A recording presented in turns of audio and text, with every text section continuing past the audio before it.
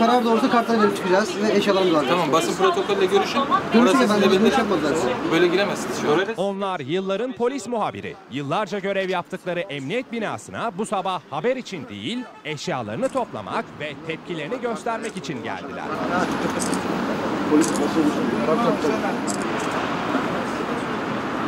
İstanbul Emniyet Müdürlüğü'nde yaklaşık 30 kadar gazeteci görev yapıyordu. Dün yayınlanan genelgenin ardından gazeteciler şubeye alınmadı. Bugün de onlar emniyetin dışında bulunduğumuz yerde bekliyor.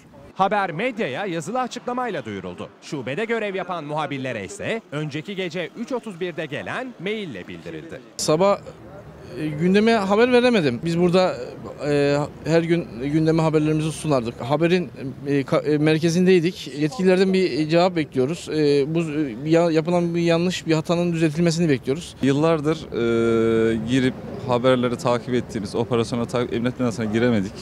E, tabii bu e, bizim açımızdan şok edici bir şey. Toplumsal algı açısından sorunlu bir e, karar olduğunu düşünüyorum. Muhabirlerin burada olması bir bakıma denetim yani kamu adına. Emniyetin önünde toplanan gazeteciler yasağı protesto ettiler. böyle giremezsiniz. Oraya da siz görüşürüz o zaman. Bizim eşyalarımız var içeride. Tamam siz orada beklemeyin. Şimdi görüşürüz.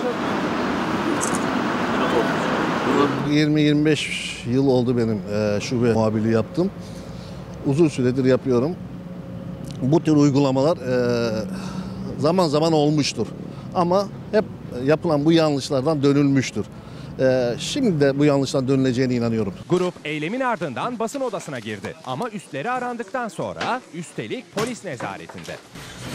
Devrim Hanım. Devrim Hanım. basın arasına girdik ve Şube muhabirleri basın odasından eşyalarını topladılar. Yine polis eşliğinde dışarı çıkarıldılar.